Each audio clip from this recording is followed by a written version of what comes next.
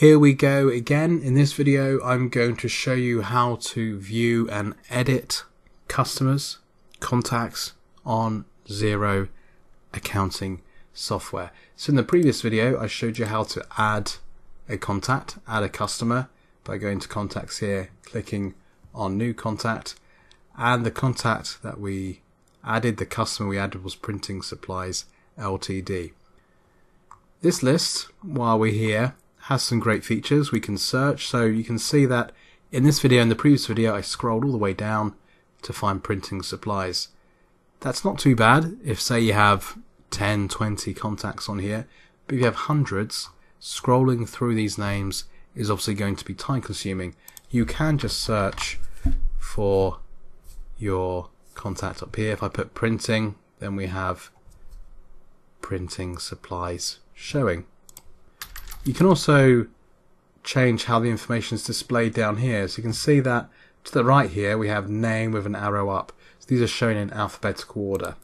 If I click on here and click reverse, it will show things in reverse alphabetical order.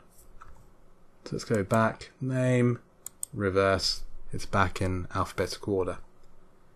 You can also show the information by email, by the date that the contact was added, by what you owe the contact, or what they owe you. So if you want to see the customers that owe you the most, click they owe.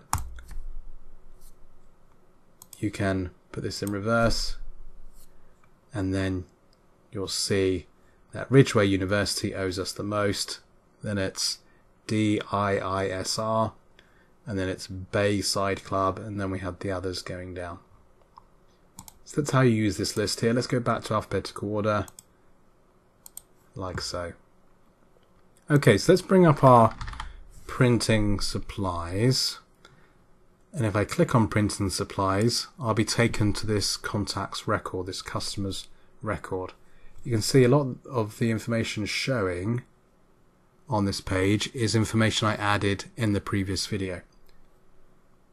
If I want to edit any of this information, let's say his contact has changed name, or the contact person has changed, or I want to change a default, or the phone number, or add a phone number, all I need to do is once I'm in the contacts record, is go to the top right here and click edit.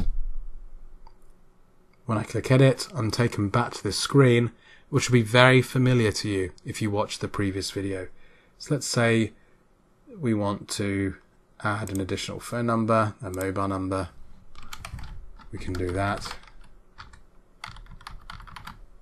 And let's say we also want to change the default default to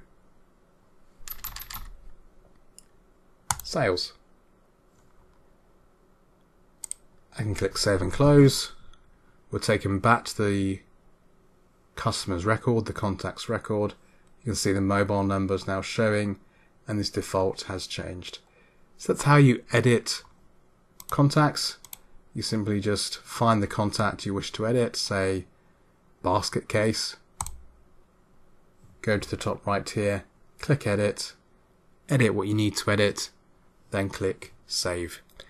In the next video, I'm going to show you how to raise sales invoices for customers on Xero.